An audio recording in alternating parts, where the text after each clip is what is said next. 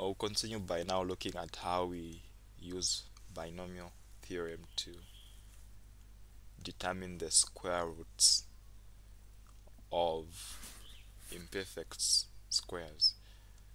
Of course, how do you find the square root of 17 is the example that we're going to work with.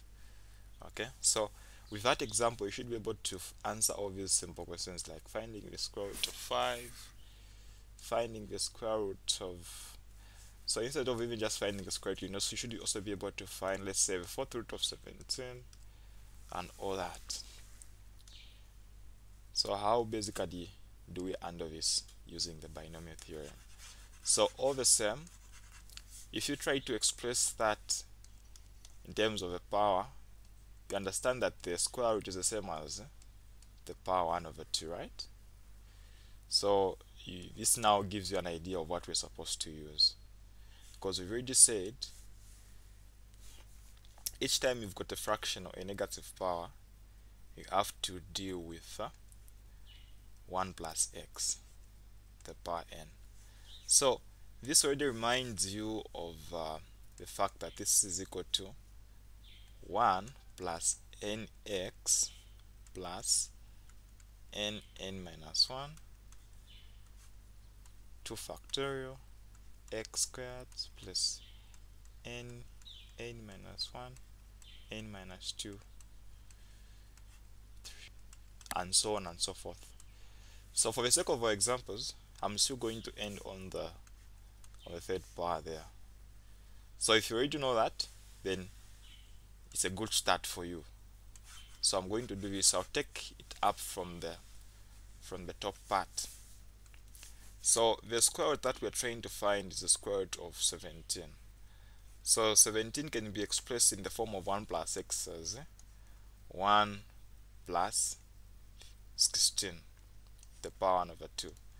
Now remember, if you remember very well, previously I did mention to say this formula applies when the value of x is less than 1. So how do we ensure that? So we can add new brackets so that we can factorize the inner part there. So if you decide to factorize 16 from the inside, you are going to have, for the first part where you've got a 1, it will be 1 over 16, and then the part where you've got a 16, it will be a 1. Now I don't want to start with 1 over 16 and then plus 1, so I'll just say 1 plus 1 over 16. Now don't forget that the entire part is raised to the power 1 over 2 because everything is inside there. So we can distribute the half to what is inside. So if I introduce the half to 16, 16 to the power 1 over 2, that's the square root of 16, so it is a 4. And then the other part is in determinant, so the 1 over 2 will just be outside there. Okay. Some of you may be like, ah, I know I'm about to find the square root of, of, of 1. No, we're looking at the product as a whole. So that's what we have. So now, the, oh, the part that we can use the binomial is the inner part. 1 plus 1 over 16 to the power 1 over 2. Okay. So on the next step, we'll say we have 1 plus 1 over 16 the power 1 over 2 and then we'll just substitute in this equation. So now the interesting part here is in this case now the value of x is known. Okay? And n is known. So we have 1 plus so where there's n we'll be putting half.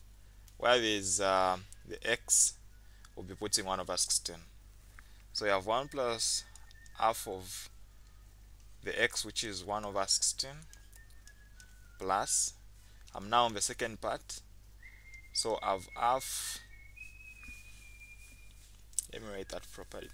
So we have half half minus 1 of course is already negative half over 2 factorial is just 2 now x squared is going to be 1 over 16 squared again here we have half half minus 1 is also negative 1 over 2 half minus 2 is negative 3 over 2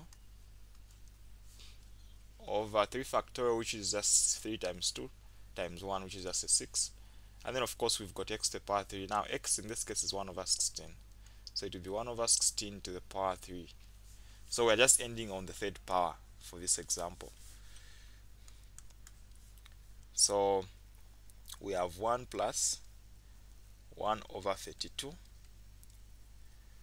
and then of course for the second part you have uh, this part.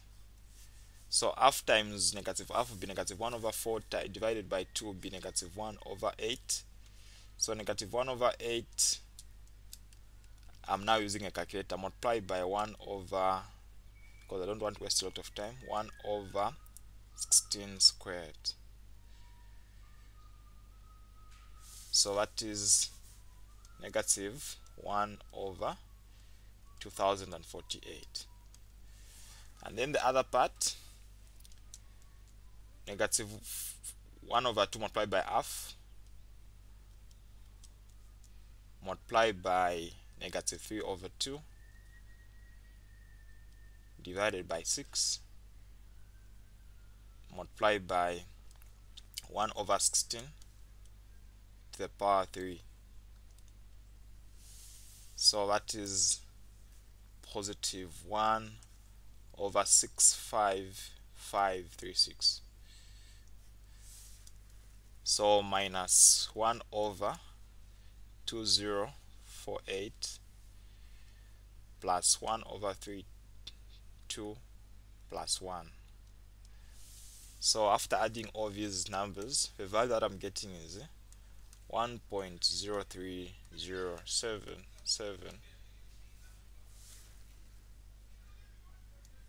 6 9 7 and 8 okay so some of you are wondering ah, how can that be the answer? How can it be the answer? Because that number even if we multiply it by itself it will not be able to give us what? 17 so take note there was a 4 that was outside. So what we've only expanded is what is inside partially. So we have 1.030 776 978 so that is what is equal to 1 plus 1 over 16 to the power 1 over 2 now we can multiply that by 4 so after multiplying by 4 the approximate value is 1 4.123 10791 so what happens if you try to square that?